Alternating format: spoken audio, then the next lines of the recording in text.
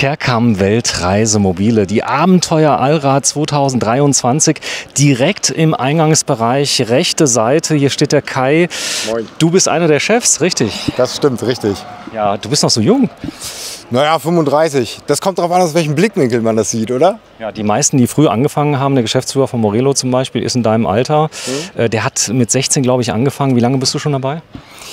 Ähm, in führenden Positionen arbeite ich, glaube ich, seit meinem 19. Lebensjahr. Wow. Und, äh, also nicht gleich als Geschäftsführer, ne? das ging dann langsam hoch, aber äh, in, in, der, in der letzten Riege sozusagen jetzt schon seit fünf Jahren. So, und das ist ganz wichtig, denn vielen äh, jungen Leuten wird äh, das ein bisschen aberkannt, dass sie sich gut auskennen. Bei dir ist das ganz anders, das habe ich schon gehört. Wir haben ein schönes Fahrzeug, was hier steht. Das ist ein Kundenfahrzeug. Die Kunden, die, die Kunden haben sich bereit erklärt, auch mal Fahrzeuge herzustellen. Ja, Gerne sogar. Gerne, sehr gerne sogar. Ne? Ähm, wir haben generell einen sehr guten Kontakt mit den meisten Kunden von uns ähm, und die freuen sich auch, äh, wenn sie mal was zeigen dürfen, äh, weil der Besitzer ist ja in der Regel auch sehr stolz auf das, was er gekauft und wir gebaut haben. So, wir haben übrigens ein Richtmikrofon. Der Lärm ist nicht zu hören, gar nicht. Der ist komplett weg. cool. Das ist der Grund, warum ich einen Kopfhörer trage. Ja. Denn hier geht gerade richtig die Post ab. Ihr seid aber auch in der Eingangsstraße hier, was da ist. Genau, zweiter Stand direkt rechts hinter dem Eingang. Äh, das heißt, wir kriegen wirklich alles mit, was hier momentan rein und raus geht. So, ich habe mich gerade eben mit Iveco West unterhalten, dem Geschäftsführer. Der meinte, ein Jahr Lieferzeit im Moment auf Daily 4x4. Bei mir nicht. Bei dir nicht. Bei mir nicht. Nee, ich habe noch vorbestellte Dailies, äh, die voraussichtlich im September kommen. So, das heißt, du hast Bauplätze eh schon reserviert für Kunden, die gerne einen hätten. Ähm, das System bei euch ist ja, der Kunde kriegt das, was er will. Ist das korrekt? Das ist richtig. Ähm, in der Regel bauen wir sehr individuell. Also es gibt auch Grenzen bei uns, ähm, aber wir machen fast alles möglich, was äh, die Technik irgendwie hergibt und äh, ja, vor allen Dingen, was der TÜV halt auch abnimmt. Ne? Also ist zum Beispiel größer der Kunde. Kunde ist 2,10 Meter. Geht das? genau, dann können wir die Kabine gerne um 10 cm erhöhen. Wir haben jetzt schon eine Stehhöhe von 2,7 Meter drin, aber wir haben tatsächlich auch äh, einen Das war so ein Kunden- Beispiel. Ja, ja. Ja, aber wir haben wirklich einen Kunden, der hat äh, 2,17 Meter bekommen, weil er selber äh, 2,9 Meter groß ist. So, fangen wir mal ganz von vorne an. Kerkam, wo kommt der Name her? Ist das eine Familie? Oder? Ja, also ich glaube, die meisten kennen ihn ja. Der Jörn Kerkam hat das Unternehmen gegründet, ähm, hat es jetzt aber mit 75 verkauft und hat sich in seinen wohlverdienten Ruhestand verabschiedet. Äh, wir haben es gekauft als Familie und äh, ja, werden das jetzt fortführen. Okay, du, du bist auch schon lange dabei, dass man das also. Ich, kenne euch noch gar nicht, muss ich sagen. Ich fange mal bei Null an, weil ihr seid einer der bekanntesten wirklich Hersteller in Deutschland. Ähm, hier haben wir eigentlich ein typisches Beispiel, wo das Fahrgestell eigentlich optionslos ist. Das heißt also, sowas baut kein anderer. Dieser Daily 4x4 mit drei Sperren, äh, mit dieser äh, Achtgang-Wandlerautomatik, mit diesem Pkw-like unter 7,5 Tonnen, das ist ein wirklich tolles Segment. Und das Basisfahrzeug ist wirklich gut, oder? Ja, also man muss sagen, dieses Fahrzeug ist natürlich für die italienische Armee entwickelt worden. Ne? Ähm, ein, ein, ein MAN ist äh, noch ein bisschen straßentauglicher als der, aber man sagt ja auch kleiner Unimog zu dem Auto, also der kann im Gelände schon richtig was und man fährt mit diesen Autos ja nachher auch nicht 150 auf der Straße, sondern eher 80 bis 100 und da kann man entspannt mit cruisen. Ja, ihr habt einige Sachen hier verändert. Unter anderem hier ist das Fahrwerk anders, wenn der Kunde das möchte. Also ihr könnt auch wirklich das Fahrzeug später auf das Gesamtgewicht nochmal anpassen. Also von der Fahrdynamik vom Fahrwerk. Ja, das ist richtig. Also mehr als sieben Tonnen holen wir aus der Einzelbereifung beim Daily nicht raus. Äh, Das geht einfach nicht, dürfen wir nicht. Traglast auch, oder? Die Reifen. Ja, aber ähm, wir können auf jeden Fall Fahrwerksoptimierungen machen, ähm, was einfach das Fahrverhalten nachher des Fahrzeugs noch weiter verbessert. Das Fahrzeug selber kommt ja schon ab Werk in einer, du hast es eben erwähnt, gebaut fürs Militär. Alles aus Metall, Stoßstange. Die Schäkel, das sind wirkliche Abschleckschäkel, oder? Genau richtig, da kannst du wirklich was mitziehen. So, dann Kein sieht man, Spielzeug. Unterfahrschutz ist mit dabei, aber der ist auch nicht so, so ausgeführt, ist kein Spielzeug. Das ist alles da. Es gibt viel Zubehör ab Werk. Ähm, ich sag mal so, die Entscheidung, sieben, unter 7,5 Tonnen hat ja auch in der Praxis einige Vorteile. Ich kann ein bisschen schneller fahren, das ist der Vorteil. Ich habe weniger Wartungskosten. Also oft haben die großen LKWs, ja, MAN, wenn ich da denke, äh, so ein großer. Viele, äh, viele wissen das gar nicht. Da ist man schon mal bei 7.000 bis 10.000 Euro im Jahr dabei. Ja, obwohl ich sage, der größte Vorteil liegt da drin, dass der alte Klasse 3 Führerschein ähm, halt mit diesem Fahrzeug noch funktioniert. Ist das immer noch so? Das ist immer noch so. Ne? Also wer den alten Klasse 3 hat, der darf äh, bis 7,5 Tonnen fahren. Das heißt, der dürfte dieses Fahrzeug äh, bewegen, ohne dass er einen neuen Führerschein machen muss. Ja, und der ist auch, glaube ich, einfacher zu machen, der C1E. Also wenn man ihn nachmachen möchte, geht so, oder? Nee, das würde ich gar nicht sagen. Ähm, man braucht, wenn man ihn hat, keine Gesundheitszeugnisse. Das ist natürlich gerade für die Kundschaft, äh, die ein bisschen älter ist. Also meistens kommt sie trotzdem durch, aber der Bammel ist halt erstmal da, vom Arzt zu gehen und dann kann man das gut tun, obwohl man jedem auch sagen kann, der, der große Führerschein ist auch kein Hexenwerk und auch die ärztliche Untersuchung nicht. Absolut, ja. Denn ähm, sag mal, der, der C ähm, der wurde uns ja auch in die Wiege gelegt, ja, leider nur in der Version mit etwas mehr Anhängelast und der verfällt automatisch, wenn man 50 ist. Das ist leider so. Man kann jetzt zwar verlängern, aber da muss man zum Arzt gehen. Hierzu ein C1E, aber dieses Fahrzeug, was hat das an Zuladung? Was kann ich hier ungefähr noch einpacken? Äh, also mit vollen Tanks sind wir immer noch ungefähr bei 1,3 Tonnen, die zugeladen werden. Echt? Ja. Das ist ja Wahnsinn. Ja. So, das heißt, ihr habt das äh, auf Leichtbau optimiert, das ganze Fahrzeug? Äh, Jein. Also der Möbelbau ist schon sehr robust, so wie man das von uns äh, kennt. Ähm, allerdings bietet dieses Fahrzeug so viele Reserven, dadurch, dass das Fahrgestell auch deutlich leichter ist als natürlich bei einem großen MAN, äh, dass wir wirklich noch gut hinkommen mit der Tonnage. Mhm. Ihr baut hier solche Details selber, hier wie die äh, Kästen? Äh, nee, das sind tatsächlich Zukaufteile. Ähm, also wir machen Spezialanfertigungen, äh, wenn jemand jetzt, weiß ich nicht, um die Reifen das noch haben möchte oder äh, einfach nur Fragen. Farbe, also genau, genau, richtig Fragen. Aber Okay, ich zeig mal. Also für mich ist auch das erste Mal, dass wir das sehen. Das ist jetzt der GFK sichtbar in dem Fall. Vielleicht beim Servitieren etwas schlechter ausbesserbar, aber der Vorteil ist, ist sehr leicht zu reinigen. Das heißt, du siehst den Schmutz da gar nicht, oder? Genau, richtig. Wir haben jetzt sogar hier noch eine Gitterstruktur auf dem GFK drauf was auch noch mal dafür sorgt, dass wenn man mal Kratzer im Auto hat oder so, also die sind einfach noch schwerer sichtbar durch diese Struktur. Ist total dankbar, oder? Ja, ist sehr, sehr dankbar, auch äh, was das Saubermachen angeht, ne? weil wer, wer glatten Autolack kennt, der weiß, wie man Streifen rauspoliert. Das muss man hier so gut wie gar nicht machen. So, die Patina ist hier auch schon vorhanden. Der hatte schon ein bisschen Feinkontakt. Ja, ich habe mal versucht, Kerkam Reisemobile bei mobile.de. Ähm, wird man kaum welche finden. Der Werterhalt ist sensationell, oder? Also unglaublich. Ähm, gerade mit den Preissteigerungen, die im letzten Jahr äh, stattgefunden haben, auch von den Herstellern, ähm, haben die Fahrzeuge momentan praktisch in den ersten zwei Jahren keinen Wertverlust. Das ist so, selbst wenn man sie lange fährt. Die Grundrisse, habt ihr Standardgrundrisse? Das heißt, der Kunde äh, kann da drauf zurückgreifen. Könnt ihr jeden Grundriss reproduzieren, den ihr je gebaut habt, theoretisch? Ja, das können wir. Ähm, wir raten immer dazu, Standardgrundrisse zu nehmen, weil das natürlich Grundrisse sind, die erprobt sind. Und ganz oft geht es um Kleinigkeiten im Möbelbau, die einfach nachher störend im Doing sind. Äh, aber wenn der Kunde natürlich jetzt sagt, ich möchte gerne, weiß ich nicht, anstatt Schublade da eine Klappe haben oder ich möchte das Bett 10 cm länger haben oder ich möchte einen Kleiderschrank haben, äh, dann können wir das alles tun. Wir können theoretisch auch noch die Kabine noch mal 20 cm länger machen, um das Bett länger zu machen. Also wie gesagt, da sind wir sehr offen. So, hier vorne sieht man was ganz Pragmatisches. Ihr habt einen quadratischen Kasten drauf gebaut. Das finde ich sensationell. Ähm, und dann habt ihr außenrum Anfahrschutz ohne Ende gebaut. Ähm, die sollen bewegt werden. Das, da fühlt er sich am wohlsten, oder? Wenn, äh, ich sag mal, Äste, Gebüsch und so weiter. Genau, richtig. Also ähm, der Anspruch ist schon, ein sehr praxisnahes Fahrzeug zu bauen. Ähm, natürlich ist Design mittlerweile auch ein wichtiges Thema. Das Fahrzeug, was wir jetzt haben, ist drei Jahre alt. Das können wir mittlerweile auch noch moderner.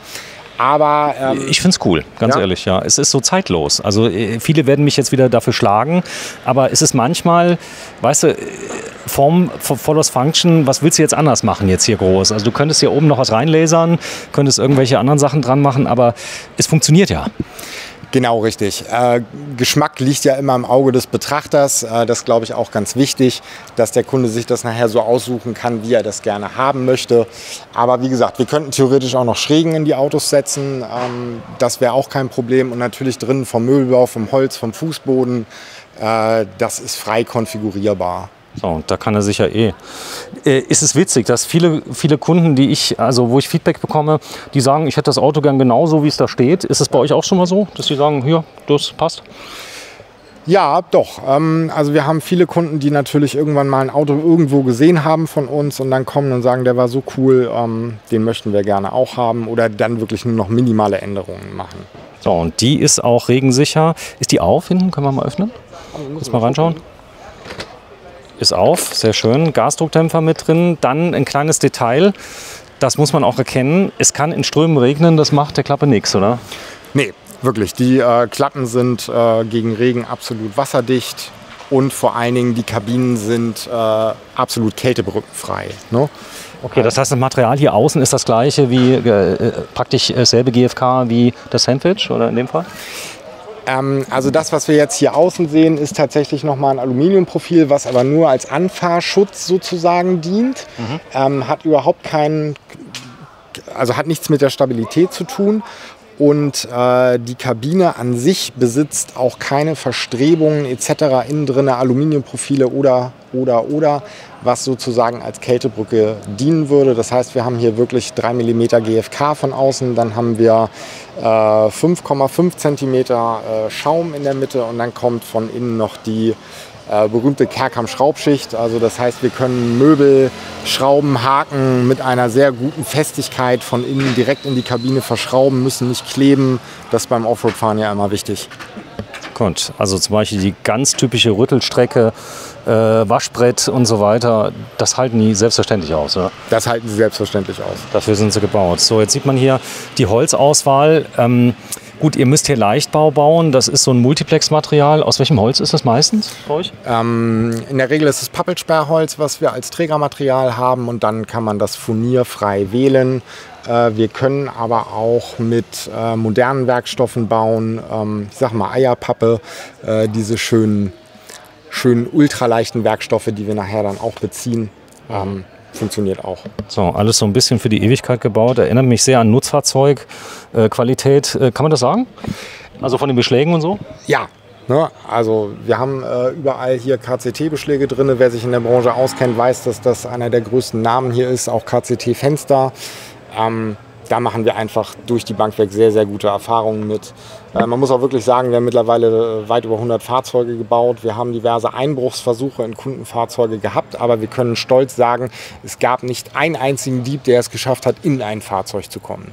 Ja, vielleicht mit der Flex und genug Zeit. Ja, oder eine Motorsäge direkt. Motorsäge, wie, wie die Feuerwehr quasi. Genau, richtig. Dann würde es gehen. Aber es geht ja auch darum, die Leute haben ja keine Zeit. Da fängt das Ganze nämlich an. Hier sieht man ähm, pragmatisch die Treppe an der Stelle, da gibt es kein Problem. Ähm, die Geländefähigkeit hier ist erhalten. Der Radstand, ist das ein beliebter Radstand hier? Er ist der lange Radstand tatsächlich, äh, der 4,12 Meter, wenn ich jetzt richtig im Kopf habe. Ähm, brauchen wir bei der Kabinengröße, die wir hier haben. Äh, wir sagen ja auch ganz bewusst Weltreisefahrzeuge. Die Fahrzeuge sind geländetauglich und auch Offroad-fähig, aber ganz klar, ähm, ein Fahrzeug, was hinten eine große Heckschräge hat, hat noch mehr Bäschungswinkel als der. Äh, bei den Fahrzeugen geht es darum, ein hohes Maß an Komfort, ein hohes Maß an äh, Qualität und natürlich dann auch äh, Gelände zu erreichen. Ja, schönes Fahrzeug für vier Personen, Stockbecken im Heck, ich liebe die. Dann der Eingang im Heck, das ist hier ein richtiger Familienbomber, oder? Genau, wir sehen ja jetzt nur ein Stockbett. Der Kunde, dem das Fahrzeug gehört, der hat nur ein Kind. Aber das zweite Stockbett kann man in fünf Minuten wieder einsetzen. Äh, wir können sogar bis zu drei Steck, äh, also drei Betten bauen. Dann würde allerdings ein Teil der Garage hinten für das dritte Bett noch drauf gehen. Das ist auch neu für mich hier am Eingang. Hast du Schränke mit drin? Also das habe ich so noch nie gesehen. Wirklich noch nie. Also genau, ist, richtig. Also das ist auch schön viel Platz. Also dass man die wichtigsten Sachen wie zum Beispiel Winterbekleidung und so weiter da unterbringen kann. Dann habt ihr schön verfilzt, das liebe ich auch. Es soll ja nicht klappern, das ist so, denn man darf ja in der Kabine sitzen. Also das ist der Vorteil. Ihr habt, glaube ich, zwei Sitzplätze in der Kabine oder bis zu vier. Geht das? Bei dem Fahrzeug haben wir es jetzt tatsächlich nicht, aber äh, wir können Würde klar gehen. Gurtböcke einbauen und dann nochmal äh, zwei weitere Sitzplätze in der Kabine realisieren. So, ich stehe zum allerersten Mal in Kerkam. Also für mich absolute Premiere. Und das Fahrzeug ist seit drei Jahren in Gebrauch und man merkt so richtig, hier kannst du an allem rütteln und ziehen und machen und tun. Das ist für die Ewigkeit gebaut. Also, also wir haben auch wirklich, wir haben keine Schraube nachgezogen, nichts. Du kannst hier jede Schublade rausziehen, kannst dir die Qualität angucken. Deswegen finde ich es immer sehr toll, wenn man äh, Fahrzeuge hat, die schon mal zwei, drei Jahre bewegt worden sind, weil ich finde, die Qualität eines Autos siehst du erst, wenn es bewegt worden ist. So, der hat einen Gastank mit drin, eine Truma, finde ich auch ganz pragmatisch, also funktioniert. Tut, was es soll. Und äh, auch hier, wenn du mal kurz reinkommst, diesen Grundriss hier, Das ist ähm, ein absoluter Klassiker, muss man schon sagen. Also so, so sind viele Alkovenfahrzeuge ja aufgebaut. Du hast ein Querbett vorne. Äh, die, die Tiefe von dem Bett, was hat die? Äh, ungefähr Länge mal breit? Äh, 1,50 Meter mal 2,15 Meter, wenn ich es jetzt richtig im Kopf habe. Also für lange Personen gar kein Thema. Genau, richtig. So, dann auch das Thema Heizen im Winter. Die sind vollkommen winterfest, weil alle Tanks innenliegend sind. Das ist richtig. Alle Tanks sind innenliegend, äh, alle Auslässe nach draußen sind auch so gesichert, dass dort sozusagen kein Frost reinziehen kann. Äh, wir haben diverse Kunden, die sind mit den Fahrzeugen bei bis zu minus 30 Grad unterwegs gewesen. Äh, also können wir wirklich sagen, absolut winterfest und auch erprobt. So, hier auch das Fenster. Äh, Mückenschutz gibt es ja. Dazu müsste man das Fenster schließen und das kleine Fenster öffnen. Dann hätte man einen, richtig? Genau, richtig. Oder einen anderen davor kletten.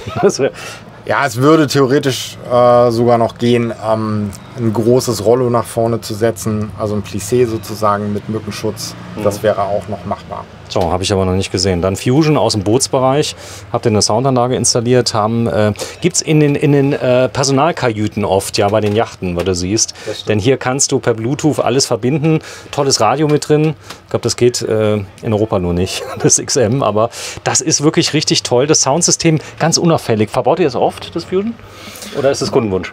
Das ist Kundenwunsch, äh, aber wir verbauen es relativ häufig. Ähm, es gibt aber auch diverse andere Soundsysteme, die optional gewählt werden können.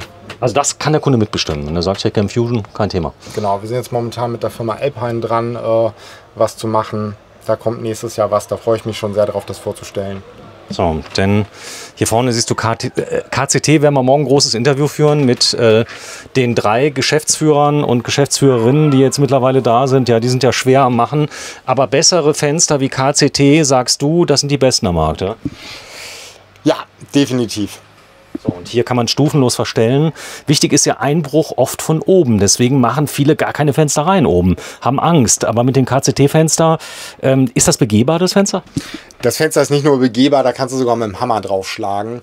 Ähm, also wir haben mal einen Test gemacht, was man tun muss, um so eine Scheibe zum Bersten zu bringen. Ähm, mit, mit normalen Mitteln fast, fast nicht machbar. Das ist wirklich Sicherheitsglas, was da drin ist. Ne? Krass, so der Aufstieg ist wahrscheinlich hier über das Polster so hoch, oder? Genau, richtig. Du einfach unten über die Trittstufe und dann äh, nach oben. Wer natürlich gerne möchte, können wir vorne auch noch eine Leiter anbringen, aber hm. der Kunde wollte es nicht. Wo, wo liege ich bei dem Fahrzeug hier ungefähr im Moment? Also wenn ich das jetzt bestellen würde und käme es 24 schon? Äh, das Fahrzeug würde tatsächlich äh, drittes, viertes Quartal äh, 24 kommen. Das kommt natürlich sehr auf die Konfiguration an. Äh, mit dem Preis äh, irgendwo zwischen 400 und 500.000 Euro würden wir aber liegen bei so einem. So, dazu hätte ich dann ein Vier-Personen-Fahrzeug unter 7,5 Tonnen mit 1,4 Tonnen Zuladung mit drei Sperren als Doppelkabine. Also mit richtig viel Platz, auch für einen Hund, der könnte da drin sitzen. Alle sind voll klimatisiert in der Doppelkabine, ist auch ein Vorteil. Und dann natürlich hier diese Einbruchshemde. Schau mal hier, dieses kleine Klavierband aus Edelstahl. Klein ist nett gesagt, ne? Ja, ist doch schön, oder? Wieder mal zu sehen sehen. Ja. So, wenn du die mal bitte für mich öffnest, in der Hoffnung, du kannst sie ja von innen wahrscheinlich immer öffnen. Und da siehst du, das Coole ist, dass das Fahrerhaus komplett getrennt ist. Das heißt also, wenn du in der Kabine bist, siehst du von dem Auto eigentlich nichts. Das stimmt richtig. Und äh, man kann es auch von innen sowie von außen ordentlich verschließen. Also wir haben in allen äh, Türen und Klappen wirklich äh, Sicherheitsschließanlagen drin. Äh, die aufzumachen ist wirklich nicht einfach. Und wenn man das Fahrzeug verschifft, dann muss man es auch zumachen können, weil man will ja nicht, dass Menschen während der Verschiffung nach hinten in die Kabine kommen können. So, und Daily Fahrgestell, ähm, kommt das auf einen Zwischenrahmen? Also der hat ja, glaube ich, schon einen, zwischen, einen kleinen Zwischenrahmen mit drin. Genau, ähm, wie, wie stark kann ich den jetzt verwinden? Kann ich da jetzt über einen Baumstamm fahren mit einem Kerkamm oder reißt die Kabine dann? Nein, also wir haben äh, generell Federlagersysteme unter den Autos drin. Das heißt, der Zwischenrahmen ist in der Lage, sich vom Hauptrahmen des Fahrgestells zu lösen, mhm. zumindest teilweise äh, so dass ähm, Geländefahrten auch gut machbar sind, ohne dass wir Risse etc. in der Kabine bekommen. Haben wir bis jetzt auch noch nicht ein einziges Mal gehabt, dass wir nur einen Riss in einer Kabine hatten. Ist vorne das Fahrerhaus fest verbunden mit dem Aufbau oder ist das flexibel gelagert? Genau, das ist flexibel. Also das heißt, wir haben einen Gummibalg zwischen Fahrerhaus und Kabine. Das heißt, Kabine kann sich unabhängig vom Fahrerhaus äh, bewegen und verbinden. Ja, bitte da genau hingucken. Es gibt auch welche, die bauen auf Daily 4x4 auf, verbinden die Fahrerhäuser fest. Diese sind dann nicht Gelände, die sind dann, ich sag mal, ich glaube, die heißen geländefähig und die anderen heißen, glaube ich, geländegängig. Der Unterschied ist dramatisch. Bei den einen äh, kannst du richtig Verbindungen machen, kannst es, glaube ich, auf einem Rad stehen lassen äh, und so weiter. Gut, es gibt auch da Grenzen wahrscheinlich, oder? Es gibt immer Grenzen, obwohl ich sage, die Grenze bei diesem Fahrzeug ist eher die Größe des Fahrzeugs beim Gelände als das, was er wirklich kann. So, denn der Allrad, also gerade der Mann, äh, hier Chef Iveco West hat gemeint, die meisten sind noch nicht an die Limits von dem Fahrzeug jemals rangekommen. Also das Fahrzeug kann mehr, als der Popo signalisiert oft, ja. Ich wollte gerade sagen, man muss es sich trauen, ne? Ja. Und äh, das tun in der Regel wirklich nur sehr, sehr erfahrene Offroad- und Geländefahrer. Ähm, ich glaube, 90 Prozent der Kunden, die sich so ein Fahrzeug kaufen, schaffen es noch nicht mal 50 Prozent von dem auszukitzeln, was, was machbar wäre. So, und das Eiche? Genau, wir haben hier eine Kombination aus äh, Eiche und weißem HPL. Und das weiße HPL, ich gucke mal gerade, das ist hier, ist hier Möbelbau verwendet? Genau, also alles, was wir jetzt als, als weiß sehen, ne, haben wir weißes HPL. Also HPL vielleicht noch mal kurz zum Erklären. Das ist das Material, mit dem solche Küchenarbeitsplatten, genau. äh, die extrem belastbar, also das ist nicht nur eine Folie, die aufgeklebt ist, das macht ihr alles selber, oder? Das wird bei uns äh, in Elmshorn gemacht, ähm, also Möbelbau sowie alles andere. Wir haben viele ähm, Partnerbetriebe, mit denen wir zusammenarbeiten, aber äh, alles kommt sozusagen bei uns, also die gesamte Planung und nachher auch die Vergabe der einzelnen Gewerke äh, passiert bei uns im Haus. Sehr schön. So, komm, komm, wir zeigen mal den schönen Vitrifrigo, denn ähm, da habt ihr wieder mal aus dem Schiffsbau eine tolle Anleihe gemacht. Einen Kühlschrank in Schubladenform. Das genau. hat sich der Kunde so gewünscht? Das hat sich der Kunde so gewünscht. Es gibt bei diesem Grundriss zwei Optionen. Entweder wir machen hier oben zu und haben dann einen großen Kühlschrank oder wir verbauen diese Kühlschublade. Dann hat man natürlich noch ein bisschen mehr Raumgefühl hier vorne im Fahrzeug drin. Das Raumgefühl, wenn du hinten liegst, ist irre groß. Ja. Also Gesamtlänge nochmal sind wir unter 8 oder knapp über 8? Ja, wir sind knapp unter 8 sogar. Knapp unter 8. Ja, ja. Ich glaube, ein wesentliches Maß, wenn du denn doch mal auf den Campingplatz fährst. Ja. Ich meine, gerade in Portugal äh, äh, habe ich jetzt gerade eine Story gedreht, ja, wurden die wieder mal weggeschickt, ja, wurde auch gleich der Campingplatz genannt. Und du weißt selber, in Frankreich und so, äh, die Franzosen campen auch gerne. Und äh, je kürzer, desto besser, ne? Das stimmt richtig. Ja. Also wenn man viel in Europa unterwegs ist, dann macht es auf jeden Fall Sinn, sich ein etwas kleineres Fahrzeug zuzulegen. Was ich ja. toll finde übrigens, ist die Öffnung. Ihr habt leichte Winkel überall verwendet, die das Fahrzeug nochmal öffnen. Also hier zum Beispiel die Garderobe ist leicht angewinkelt, genau. öffnet sich hier zu, sodass du eine ordentliche Durchgangsbreite hast der Vinylboden, da kommt man hier an den Zwischenboden ran? Ist das Genau, möglich? richtig. Wir haben äh, diverse Klappen in den Autos, ähm, die man entweder von oben als Stauraum nutzen kann. Aber das Wichtigste ist für uns eigentlich, dass die gesamte Technik des Fahrzeugs äh, erreichbar ist, ohne dass man großartig den Möbelbau auseinandernehmen muss. Das ist vielleicht wichtig. Tanks kannst du die auch äh, entsprechend ausbauen, wechseln? Geht das? Bei den Tanks müssten wir ein paar Schrauben losdrehen, aber ja, würde gehen. Also es könnte ja mal sein, Unfall. So, das Wichtigste ist ja Thema Teilintegrierte. Jetzt hat man hier vielleicht Gurtplätze drin. Gut, bei der Doka habe ich natürlich die gleiche Fahrzeugsicherheit wie bei einem Kastenwagen letzt, letztendlich. Aber hattet ihr schon mal Auffahrunfälle, wo jemand hinten auf dem Kerkam draufgefahren ist? Wie sehen die Autos aus? Werden die komplett zerlegt oder äh, sehen, sehen die anderen schlechter aus? Also wir müssen auch zugeben, wir hatten noch keinen Auffahrunfall, der stark war. Bei den Auffahrunfällen, die wir bis jetzt gesehen haben, wurde der Möbelbau überhaupt überhaupt nicht beeinträchtigt. Wie gesagt, er wird auch dafür gebaut, dass wir Offroad-Fahrten machen können. Ähm, also sehr, sehr stabil. Sicherheit ist nämlich das Thema. Also, dass wenn man fährt, nicht irgendwie, es kommt zum Unfall, das ganze Fahrzeug liegt auf der Autobahn, sieht man so, solche Horrorbilder. Das ist eine ganz andere Bauweise. Hier reden wir über äh, feste Verbindungen, äh, Offroad-Fahren und so weiter. Ähm, es gab einen großen Campingboom. Habt ihr das erlebt auch, äh, dass die Leute ist auch bei euch. Also während der Corona-Phase war, glaube ich, ähm, da war das ja das beliebteste Hobby der Deutschen oder auch der Europäer generell. Ähm, wir haben auch immer noch äh, sehr, sehr viele Aufträge, die wir von dem letzten Jahr abarbeiten. Ähm, sehr schön. Äh, viele auch, die bei Null angefangen haben, direkt bei Kerkam, bei euch. Das erste Fahrzeug. Tatsächlich ja. Also überrascht mich auch manchmal, aber es gibt so. Leute, die machen das. So, dann zeig mir mal bitte, hier vorne gibt es wahrscheinlich noch eine Verlängerung. Hier kann man ein Bett draus machen aus, aus, ähm, aus dem Polster eigentlich? Ähm, Oder ist es eine Sitzverlängerung? Ist eine Sitzverlängerung, was wir jetzt hier haben. Haben wir hier vorne auch nochmal, sodass wir nachher sechs Personen. theoretisch sechs Personen mhm. entspannt sitzen können. Sehr schön. Hier, hier ist noch ein Schrank dahinter? Da in dem? Hier haben wir noch einen Schrank hinter, genau. Ist doch viel größer, als ich dachte, wenn ich ganz ehrlich bin. Weil der sieht von, von außen sehr kompakt aus.